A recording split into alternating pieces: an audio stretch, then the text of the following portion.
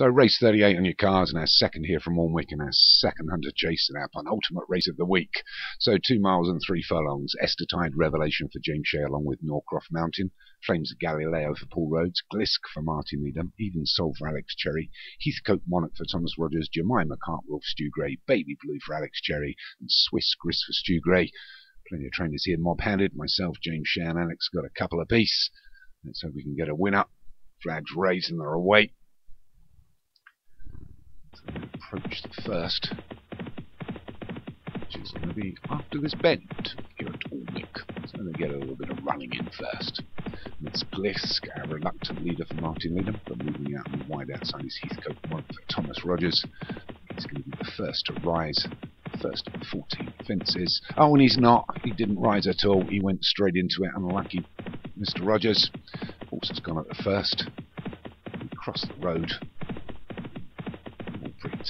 packed. Nobody really wants to take this up as they get to the second. They all get over it. A poor jump there by Jemima Cartwheel. And through the top of it, shuffles back.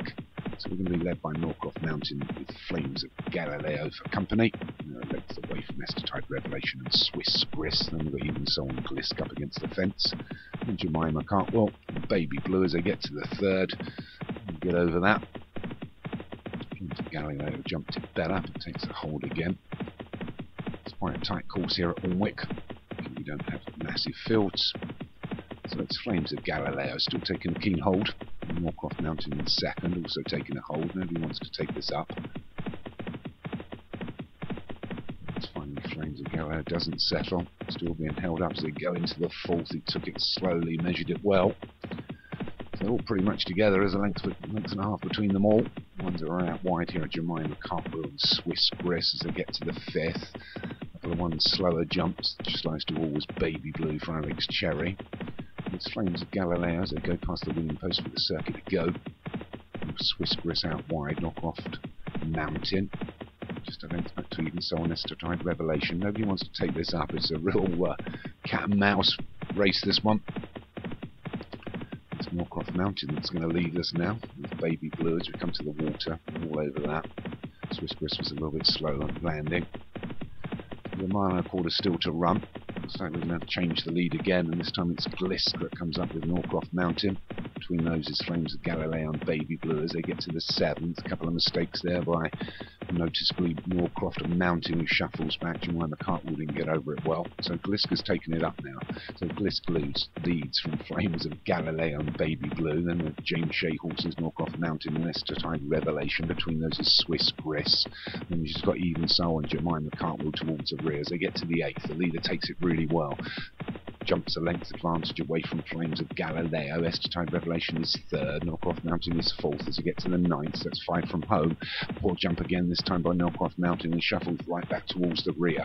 So Glisk has the lead, leads by a couple to Estertide Revelation and Flames of Galileo. The Paul Rhodes couple back to Swiss Gris and Jemima Cartwheel as they swing left-handed again with four to jump. And it's Glisk that leads from Flames of Galileo and Estertide Revelation. It's the big open ditch coming up. Are they all going to get over it? And it's Glisk that approaches it first, takes it well, as does the rest. So it's Glisk that still leads. And we've lost Heathcote Monarch. He's been pulled up. He had, oh no, we lost him right at the beginning. My my, my mistake. So it's Glisk as we come down to the final half mile. Gets over the 11th well. They all take it well, but it is Glisk that still leads. Here comes Estertide Revelation to throw down a challenge on the wide outside. Is Swiss Gris running on well.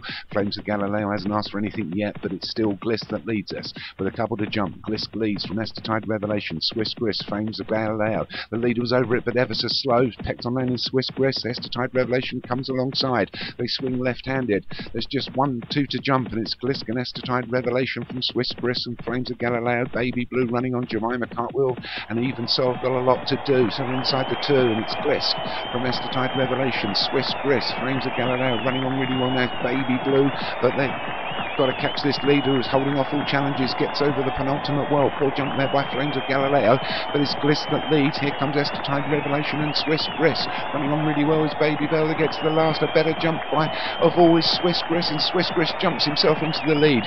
Comes out of nowhere. There's no run in here. Swiss Gris takes that for Stu Gray from Estertide Revelation in second. Glisk was third. Makes all the difference. The jump there with less than a quarter of a furlong the running. So it's a win for Swiss Gris for Stu Gray, Master Tide Revelation and Glisk. So that's a good win for me. I'll take that. That moves me on to the massive five National Hunt wins. And I take it with Swiss Gris. Master Tide Revelation for second was James Shea. Third was Glisk for Martin Lynn. Fourth was Baby Blue for Alex Cherry. And Jemima Cartwheel get up for fifth.